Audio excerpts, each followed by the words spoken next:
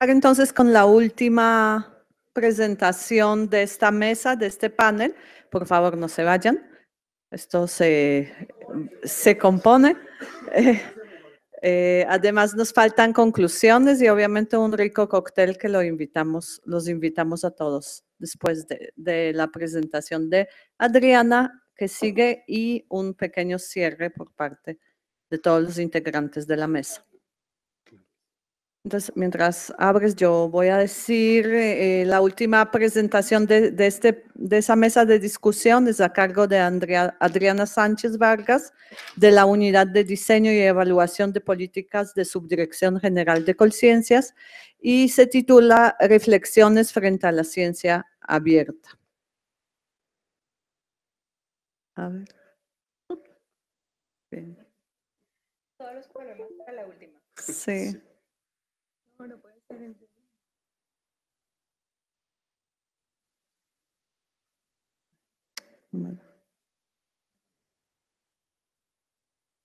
Bien.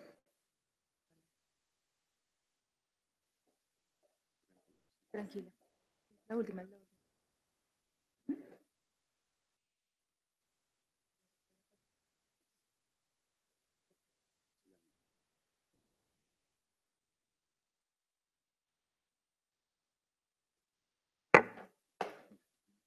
Gracias, pero no, no creo necesitarlo.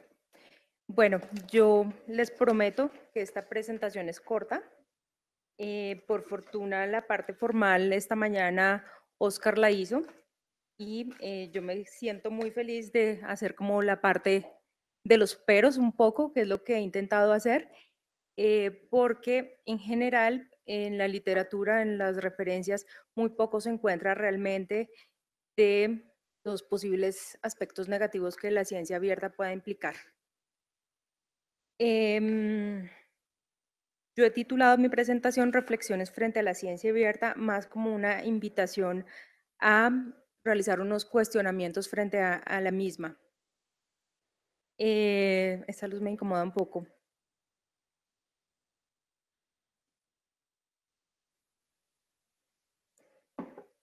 Bueno, ya todo el día hemos estado hablando del concepto de ciencia abierta. Como ustedes habrán notado, hay muchas definiciones.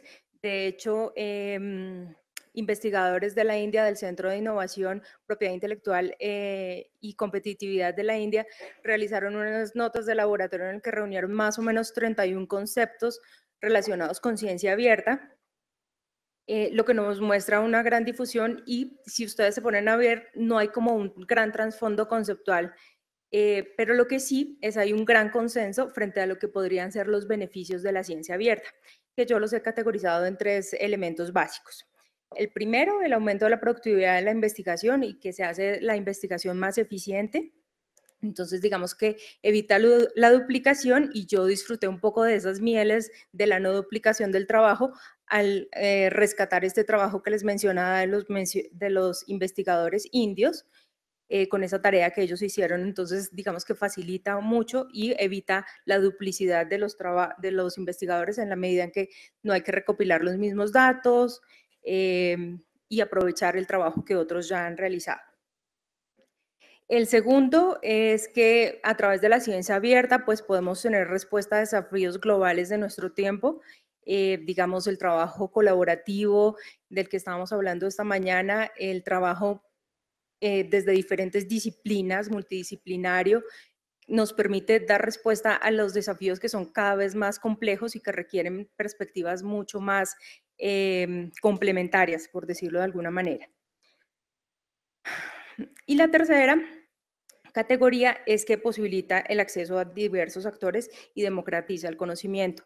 Entonces, las TIC han facilitado, han reducido costos para que podamos acceder fácilmente a cursos virtuales, a una gran masa de conocimiento que está disponible en el mundo para todos, eh, teóricamente.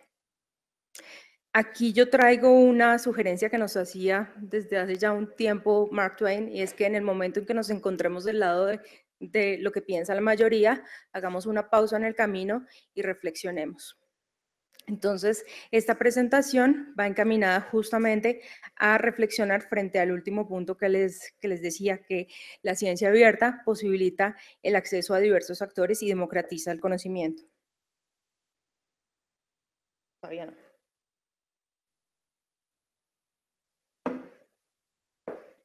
Para, digamos, eh, plantear mi punto, les traigo dos ejemplos relativamente recientes el primero, muy cercano a nosotros, el 31 de octubre del año pasado, a través de mensajes de WhatsApp, eh, se prendió la alarma por el terremoto que supuestamente iba a suceder en Bogotá y muchas personas en la localidad de Kennedy, centenares de personas, durmieron en la calle en carpas porque eh, decían que iba a suceder un terremoto.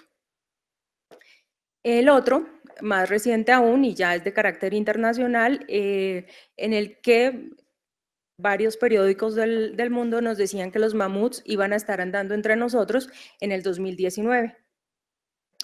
Y entonces esto, em, a partir de la tergiversación de la investigación que están realizando investigadores de Estados Unidos eh, en genética y en los que efectivamente están trabajando con genes de em, de elefantes y han introducido algunos de datos de genes de los mamuts y han estado trabajando por otra parte eh, replicando las condiciones de, em, de la matriz para desarrollar eh, ratones que se desarrollan en 10 días y ya los periódicos lo tergiversaron y convirtieron que ya para el 2019 en condiciones particulares íbamos a tener mamuts entre nosotros. Entonces, esto me hace digamos, eh, reflexionar en tres aspectos. El primero es el de qué acciones debemos realizar nosotros. Eh, espérenme porque aquí se me perdió algo.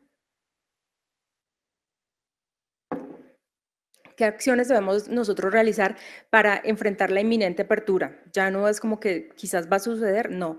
¿Qué tenemos que hacer nosotros para que efectivamente los ciudadanos y las empresas puedan aprovechar la información que se está abriendo en, el mundo.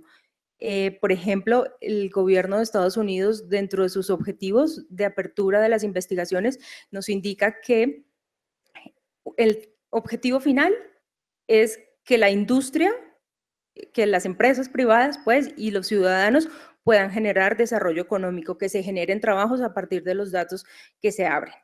Pero entonces eso nos, implica a nosotros una serie de acciones para que nuestra gente esté en primer lugar preparada para aprovechar esa masa de información que se, tiene y si no, por lo menos, que sea capaz de entender que, em, el lenguaje de la ciencia es difícil y que requiere ciertas reflexiones para poder entender lo que nos está presentando dentro de esas acciones que, yo planteo que cuáles deberían ser y lo que estoy haciendo es una invitación a que nos ayuden a pensar cuáles serían esas acciones porque nosotros no tenemos las respuestas.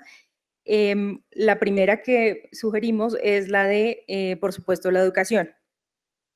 Entonces, se requiere em, mayor educación para que las personas tanto el público en general como de las eh, potenciales industrias que se generan a partir de los datos de investigación o los resultados de investigaciones eh, sean capaces de entender que la ciencia tiene un lenguaje particular, que la ciencia que nos suministran em, también, em, ¿cómo decirlo? También tiene un sistema organizado de duda y en el que cualquier información como la del terremoto, pues nosotros tenemos que ser capaces de plantear que puede tratarse de un error o de verificar que, y que la ciencia no nos está hablando de verdades, eh, sino de hechos que deben ser corroborables. Entonces, el, punto es la educación para que la gente sea capaz. Oscar en la mañana decía que el ciudadano en común tiene mucho respeto por el investigador. Ok, de acuerdo, pero ese respeto no debe ir hasta que lo que el investigador diga es sagrada palabra. Todos deberíamos estar en disposición de cuestionar dentro de ciertos límites lo que los investigadores nos están proponiendo. Em, y el tercer punto se refiere a quiénes van a ser los usuarios finales de aquello que nosotros abramos. Eh, por ejemplo, las notas de laboratorio, los resultados de los journals que publiquemos, quiénes van a ser esos usuarios. Idealmente las empresas nos dicen, pero nuestras empresas, por ejemplo, en el sector químico, yo participé en un estudio el año pasado y nos decía que contrataban el 50% de sus personas tenían estudios de primaria. Esas personas de la industria van a estar preparadas para entender esa información que nos está, digamos, liberando la ciencia abierta. Em, aquí les tengo un ejemplo de los resultados del portal de la NASA. Yo soy eh, ingeniera agrícola. Eh, digamos que puedo entender bases de datos relativamente fáciles. Y entiendo que son datos de la NASA, pero se necesita un conocimiento especial para saber cómo aprovecharlos no cualquier persona, como el ideal de democratización de la ciencia, que la ciencia nos eh, abierta nos está planteando, cualquier persona realmente no está en, la posibilidad de, entender esto. Por otra parte, entonces está eh, la brecha tecnológica que puede ahondar la brecha social. Y a la derecha les traigo el ejemplo de eh, la tarjeta del CTP. Hace más o menos seis meses, un poco más, me encontré con la situación de una señora de la tercera edad que ella no quería subir al bus porque tenía miedo de subirse y utilizar esa maquinita que parece realmente sencilla. Y entonces, esto es otro ejemplo de cuáles son las acciones que nosotros tenemos que desarrollar para que esa brecha social no se ahonde gracias a la tecnología. Em, otros puntos que que digamos planteo como, como líneas para que nos vayamos con la duda y lo consultemos con la almohada y después lo discutamos. Eh, la apertura de la, investigación colombiana, ¿a quién estaría entregando resultados que potencialmente con potencial que nosotros desconozcamos, porque muchas veces no sabemos qué es lo que tenemos, lo abrimos y después nos damos, que teníamos, nos damos cuenta que teníamos una gallinita de los huevos de oro. Eh, Hace un instante estábamos hablando del crowdfunding, estábamos hablando en la mañana también de la ciencia ciudadana, la participación de ciudadanos en procesos de investigación em, y también se están dando, eh, gracias a estos procesos de participación ciudadana, que los individuos, que el público en general perfile las agendas de investigación. ¿Qué cambios en la gestión de la ciencia tiene esto? Qué implicaciones en el devenir de la ciencia em, implica que, estamos participando. Uy, esto se pasó muy rápido. Gracias. Ya no me voy a... Sí, pareciera. Em, ¿Y cuál sería el rol de los diversos interesados en esta definición de agendas de investigación? Mm, algunos elementos adicionales ya en términos de la perspectiva de la política de ciencia y de ciencia verde, perdón, entonces, eh, ¿qué habilidades es necesario materializar para la apertura de la ciencia? Y aquí es no solamente las habilidades de los individuos, que es lo que yo venía hablando antes, pero también las habilidades de los científicos y de los investigadores, como, bueno, ya se fue Oscar Castellanos, pero él decía que él no iba a aprender, eh, quizás para él ya resulta más fácil contratar a alguien, pero los investigadores jóvenes sí necesariamente tienen que aprenderlo, porque ya se está dando. Em, también el asunto de las nuevas métricas que promuevan o incentiven la ciencia abierta. Alguien mencionaba esta tarde si Colciencias incluiría em, los temas del Twitter o algo así eh, como métricas. Yo la respuesta preliminar sería que no. Lo vimos, por ejemplo, en las campañas electorales, la gran manipulación que se tiene y pues no podemos basar nuestros sistemas de métricas, de incentivos en algo tan susceptible, por lo menos no de, no de entrada, sería la respuesta a esa pregunta. Em, entonces, conociendo el grado diferencial de desarrollo en los diferentes componentes de ciencia abierta, ¿cuáles deberían ser los que, con, los que comenzamos en nuestra política? Esa es una, una pregunta importante. La encuesta aquí que nos estaba ayudando el observatorio, que no nos mencionaron, Em, nos decía que los em, investigadores, y eso sucede en casi todo el mundo, tienen más conocimiento de acceso abierto que de datos abiertos o la misma investigación abierta. Entonces, quizás podríamos empezar por ese componente de acceso abierto, que es el como más tangible y el más lógico para todos nosotros. Em, se fue el representante del MINTIC y ya a estas horas solo quedamos los intensos. Eh, entonces aquí también estaría plantearnos la relación con el portal de datos abiertos del MINTIC. La, idea sería, pues efectivamente, encontrar, no duplicar esfuerzos, sino encontrar la alternativa para que se aproveche para la investigación también este portal. Y la última pregunta que, digamos, eh, está sobre la mesa y en ella estamos trabajando con una invitación a, enviar propuestas para estudiar Em, el equilibrio entre una política de ciencia abierta y el, eh, al tiempo que se garantiza la propiedad intelectual, porque algo importante es que la ciencia abierta, que no quede como ese miedo, la ciencia abierta no pretende aniquilar la propiedad intelectual. Aquello que sea susceptible de, digamos, proteger, eh, estará reservado y lo otro que sea susceptible de divulgar, pues se divulgará en su momento. Muy bien.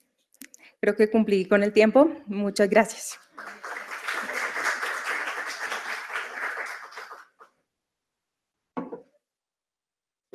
Vale, vale, vale. Ahora sí. Ahora sí tenemos a nuestros panelistas. Claro que sí.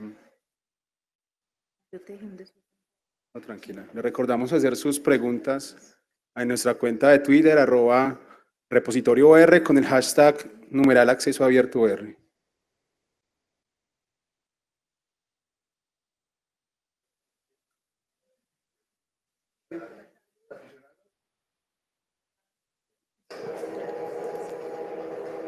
Ahora, ahora sí. Bueno, uh, muchas gracias a, lo, a todas las presentaciones, que pienso que ha sido una sesión muy interesante, de hecho con con diferentes perspectivas, como se anunciaba, y también gracias a ustedes que son los resistentes que están aquí. Vamos a intentar ah, usar 10 ah, o 15 minutos, no más que eso, para, para responder a unas preguntas que, que me llegaron y, y, quizás a otras que puedan llegar ainda. Yo, yo tenía también aquí algunas preguntas, pero probablemente las, las voy a, a quitar y les preguntaré a ustedes después de, del evento. Uh, tengo aquí dos preguntas iniciales. Ah, una de, ellas que pienso que es para, para Dante, que es por qué un editorial como Elsevier se ocupa de acceso abierto y ciencia abierta porque, porque Elsevier se ocupa de, de, acceso abierto y ciencia abierta. Yo me aprovecho y hago una, una segunda pregunta que tiene que ver con la cuestión de los datos abiertos. Es que eh, eh, es presentado un conjunto de, de, servicios que me parecen muy interesantes y mi pregunta es que cómo ve Elsevier su rol en esos servicios y cuál es el modelo de negocio para estos servicios.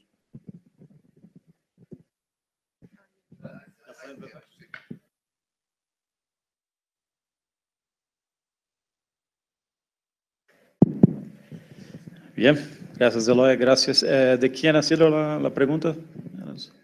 Ah. Eso no vale.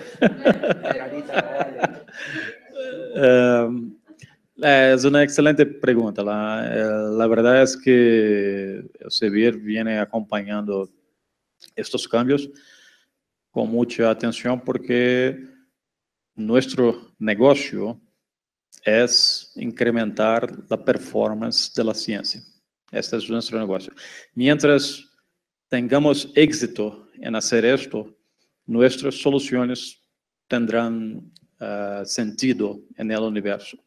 Nuestra misión es servir a la ciencia. Obviamente, el servir es una empresa comercial, pero ese es nuestro negocio, servir a la ciencia y adentro de este tópico, grande tópico, es incrementar la performance de la ciencia.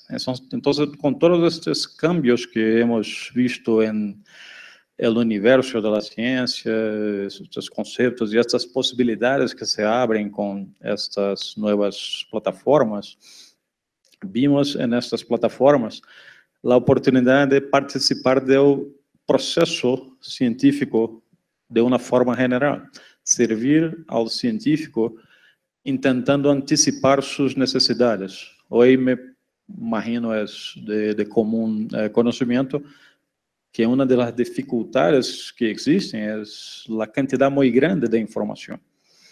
O Elsevier só produz uma infinidade de, de informação. Eh, se incluímos todas as editoriais, há um universo de informação que o científico tem hoje que ter uma habilidade muito grande de filtrar o que é relevante. Entonces, mi respuesta es esta, justamente, nuestro negocio es incrementar la performance de la ciencia y nuestro modelo de negocio es de soluciones que permitan al investigador lograr este fin, eh, desarrollar su trabajo con la mejor performance posible de forma a ahorrar los recursos que hoy son tan difíciles en el universo académico. Y Esperamos que desta forma se pueda servir a la comunidade científica, obviamente bajo la ótica sempre de uma empresa de, de carácter eh, comercial. Gracias. Y, y, mi pregunta sobre el modelo de negocio para los servicios de datos, que, que, que, también pienso que alguien ha formulado de una manera diferente, ¿quién paga el costo del servicio de preservación de datos si no se cobra al lector o usuario? ¿Qué, sí. ¿Qué, diferencia hay con el modelo JATS de, de Redalic? No sé quién ha hecho. Mm. Sí, eh, en términos de modelo de negocio, que pasa que eh, ni para ingresar en los temas de los datos, pero solo en el tema de acceso, ustedes son, eh, tiene Eloy aquí, ¿no? lo experto en, en la mesa, sabe mucho mejor que yo que estos cambios hoy é, não tem uma trajetória muito definida. Em que ritmo? Vimos ali um gráfico de ritmo de crescimento de é, artículos de acesso aberto, artículos de subscrição, e a verdade é que nadie sabe como vai a quedar este equilíbrio. Que tanta, como les disse, o Sevier é uma empresa comercial. Então, eh, não há eh, uma segurança de nenhuma parte. Em 10 anos, qual vai ser, vai ser a distribuição de fontes de recursos para cada modelo de, de, de publicação.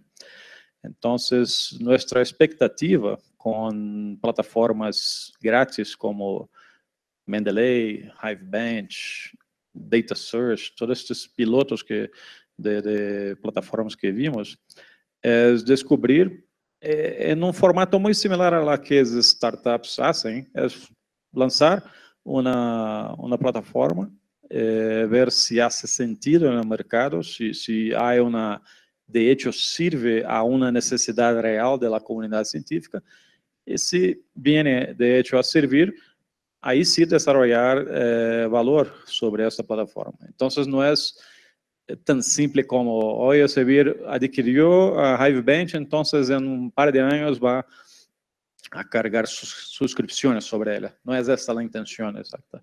Es eh, a lo largo de este camino de conocer y servir al proceso científico como un todo, entender dónde hay valor en, esta, en estas etapas a fines de, eh, en el momento que sea adecuado, como, de nuevo, como una startup lo hace con sus apps, como le diga Uber, como uh, Facebook, como uh, uh, Twitter, desarrollar en el futuro la mejor forma de eh, comercializar eh, soluciones en ese sentido. Pero no hay un plan de cargo. Gracias. Tenemos una última pregunta uh, uh, que pienso que es para Diana. ¿Qué estrategias están implementando para los estudiantes, para que los estudiantes conozcan y valoren el acceso abierto del Open Access? Bueno, para hacerlo como muy concreto, porque sé que todos están cansados, pues básicamente, como lo decía en la presentación, tenemos una doble estrategia, una es top-down, que es lo que depende exclusivamente de nosotros a nivel central, eh, evidentemente, suscribir una política de acceso abierto, tener un repositorio institucional que es el número uno en Colombia, donde también nuestros estudiantes deben depositar sus eh, monografías, tesis de grado y eso hace que por sí conozcan que existe este repositorio y que tiene unas implicaciones en circulación de conocimiento, es importante. También tenemos eh, dentro de la comunidad de, eh, universitaria, digamos, el apoyo para publicación en journals de acceso abierto. La parte botón... Eh, botón, eh, app tiene que ver más con toda esta circulación de conocimiento, todo lo que existe en Internet, en conferencias como esto, genera un, digamos, una efervescencia de conocimiento y una curiosidad sobre lo que es el Open Access. Y ahí son parte fundamental nuestros profesores.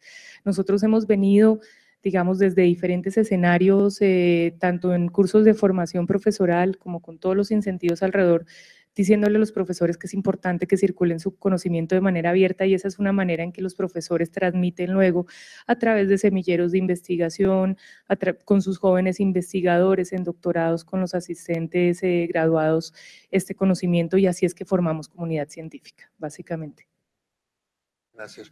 Y ahora, para, para cerrarnos, yo, yo, voy a invitar, es una invitación un poco difícil, pero que en un minuto o un poco más de un minuto, que me pueden intentar contestar a, a, dos cuestiones, cada una, cada una la misma, las mismas dos cuestiones para cada una de, de, de vosotros, que desde el punto de vista de vuestras organizaciones o del, o del grupo de interés que, que, representan aquí, que tenemos una institución de, de, investigación, tenemos un editorial, aunque no, no, no te guste el, tema, pero no, no, voy a intentar a, a, encontrar una alternativa ahora mismo. Tenemos organismos gubernamentales, de ciencias, el observatorio y una organización de la sociedad civil. Y las dos cuestiones son que, que que para, para, vosotros, ¿cuál es vuestra contribución prioritaria? ¿Cuál debe ser vuestra uh, prioridad en, en, en, la acción para, para la transición al acceso abierto? Y desde un lado, ¿cuál es vuestro contributo? En una manera ya me han respondido, lo que estoy pidiendo es en, en un resumen de un minuto. Y, y de otro lado, ¿cuál es el impacto del acceso abierto en su propia misión, en su propia actividad?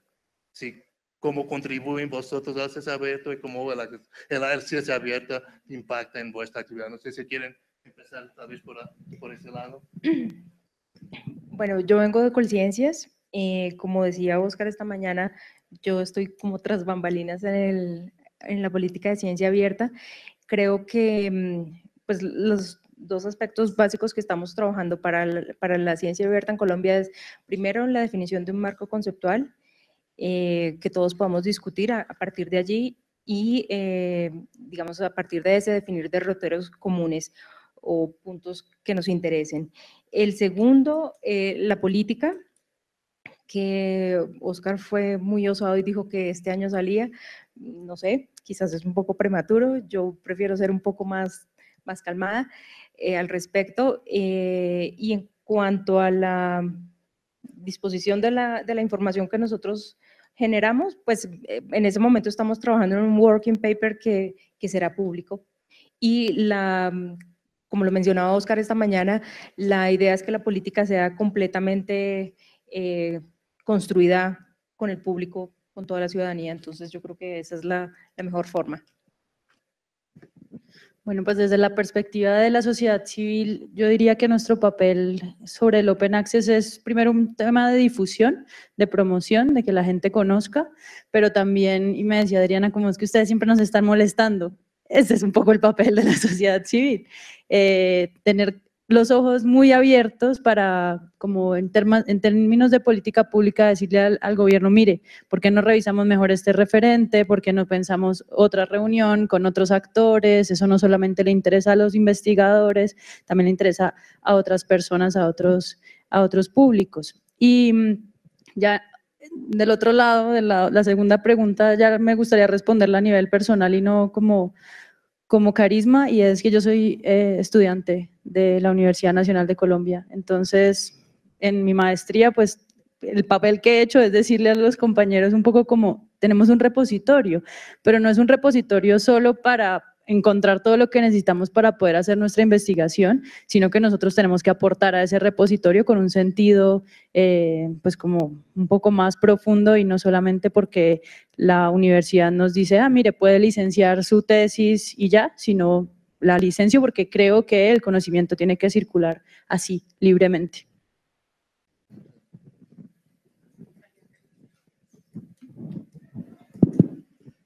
Un minuto? Sí. É, cada país, cada instituição tem seu próprio ritmo de adopção, de evolução nestas novas tendencias y tecnologías. Mi mensaje es que nuestra misión es escuchar a cada uno de ustedes y intentar a la mejor posibilidad adecuar este distinto ritmo que cada uno de ustedes tiene a forma de entregar la información eh, que podemos proveer. Desde el observatorio lo que estamos tratando de hacer es investigación reproducible abierta. Es decir, los centros de investigación, los observatorios, eso es lo que debe dar a la sociedad. Que el ciudadano del común también entienda que es hacer investigación y que obviamente no es de científicos solamente ahí, sino que también el ciudadano debe participar. Entonces, desde el observatorio, digamos, eh, desde la perspectiva de la innovación social, es lo que estamos tratando de promover. Y desde la otra perspectiva eh, es básicamente información, dotar a la sociedad de información sobre qué es la ciencia abierta, hacer ese tipo de investigaciones sobre encuestas, qué es lo que piensan los investigadores, qué es lo que piensa la sociedad en general sobre eso. Y obviamente tener acceso abierto a todo ese tipo de información.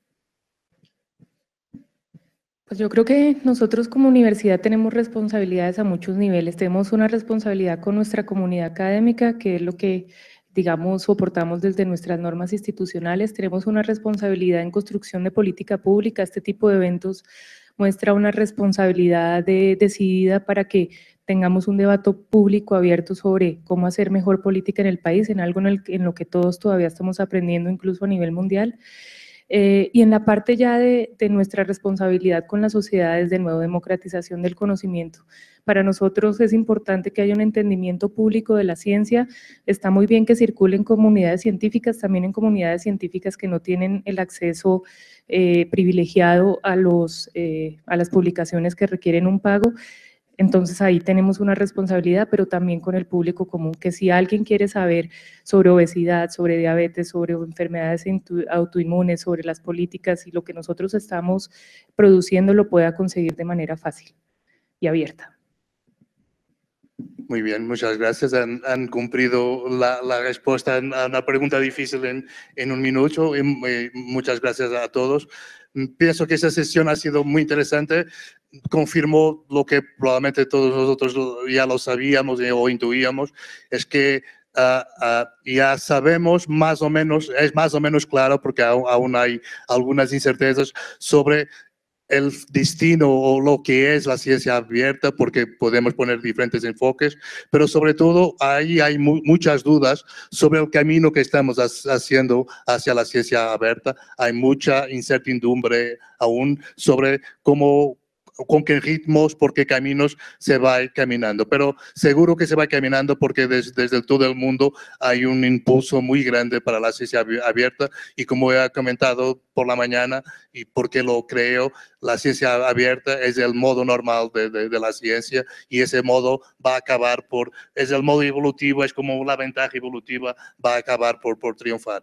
Pero pienso que es muy importante también que en este, en este, como este panel ha demostrado, este es un ecosistema con muchos actores, con muchos componentes y pienso que es muy importante que, que, que se mantenga el propio un ecosistema abierto, competitivo e innovativo, donde ningún actor tenga demasiado poder, porque esa es también la forma de garantizar que la transición se hace de una manera más, más, uh, más correcta.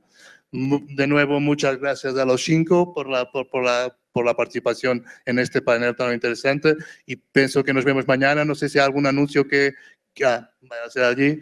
No cerramos el panel y pido una, un aplauso para los cinco.